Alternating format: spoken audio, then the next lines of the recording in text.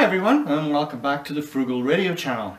Today I wanted to show you just a quick video on how to calibrate your SDR dongle. If you've bought a generic SDR, you can't just use it straight out of the box without setting a PPM value because the generic ones don't have a TXCO. So what we need to do is, uh, is grab our dongle. I'm using a Nooelec branded one, but uh, this one doesn't have a TXCO. It's from about 2013, this unit.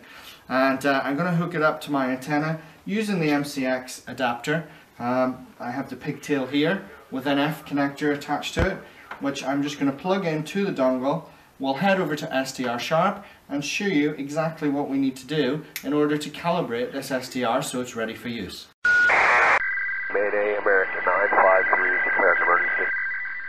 Okay, so here we are in SDR Sharp. We're on quite an old version here actually, but I just wanted to show you how to get this done real quick.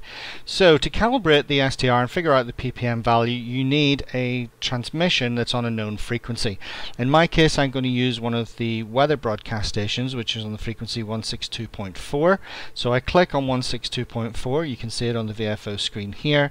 And if we zoom in a little bit, you'll actually notice that the red line is not in the center of the signal. So the red line is representing where the VFO is at present, and if we have a listen, things aren't going to sound as good as they need to.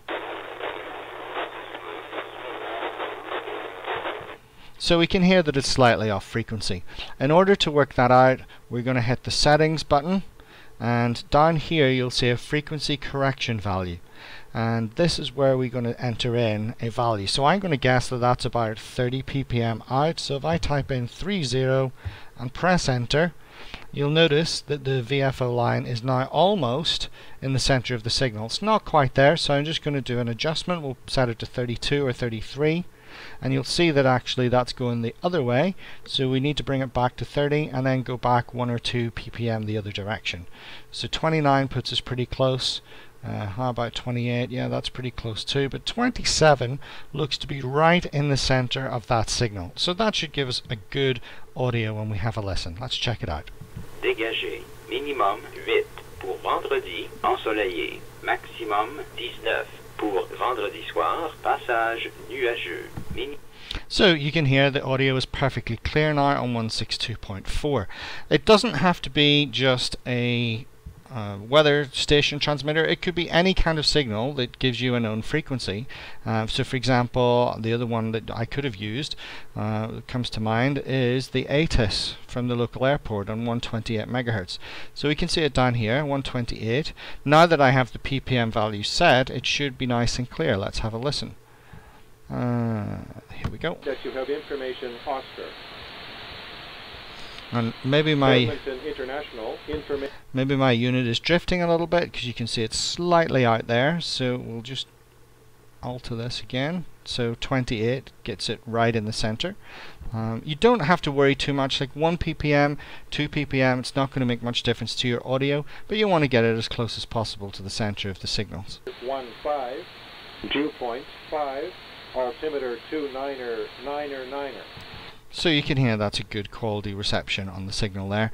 Um, the other one you could use, of course, is something like a, a DMR transmitter or like a control channel for some kind of uh, digital system. So if I go up into the 400 megs band, we're going to find some uh, DMR control channels here. I'm just going to zoom out a little bit so we can spot one.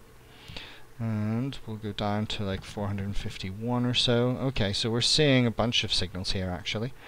Uh, let's see if this one is a control channel. Let's have a listen. Yeah, that's a control channel on 45495, so we could use that equally to tune in.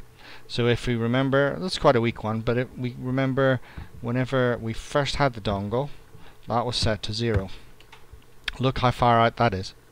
Uh, it's actually a good way out, but I know that this DMR signal on 454.95 is uh, is needing to be tuned in. So we said it was about 28 ppm didn't we? And that puts us there. And maybe to get in exactly the center of the signal we would alter it a little more. Uh, each transmitter is going to have slightly different ppm in and of itself. But that is how to adjust the ppm in SDR Sharp. I hope that has been helpful Well, thanks for tuning in to Frugal Radio today. It's been good to have you back on the channel. If you've liked the content, please make sure to hit the like button and the subscribe button, and we will see you very soon with more great content relating to SDRs and also general radio monitoring. Thanks for being here today. Catch you soon. This is Frugal Radio. Over and out.